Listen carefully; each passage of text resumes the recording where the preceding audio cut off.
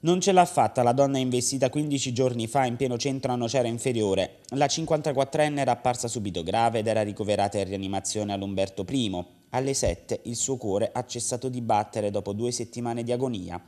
L'episodio accadde lo scorso 31 agosto nella centralissima via Barbarulo alle 6 circa del mattino. La donna, residente in zona, aveva varcato prima la porta d'ingresso e poi il cancello per uscire in strada. Con sé aveva dei sacchetti dei rifiuti che doveva depositare a solo pochi metri di distanza lungo il marciapiede. Per camminare si aiutava con una stampella.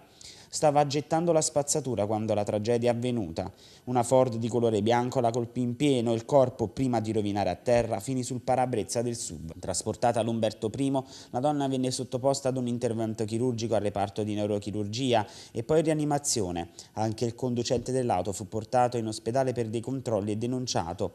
L'automobile sequestrata ed ora il conducente dell'auto potrebbe rispondere anche di omicidio colposo, anche se saranno le indagini a stabilire colpe e responsabilità.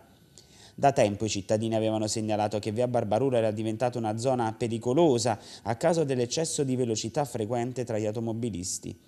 L'amministrazione comunale è al lavoro da tempo per ridurre non solo il flusso veicolare, ma anche la velocità di quanti, vedendo le strade semideserte di notte, schiacciano il piede sull'acceleratore.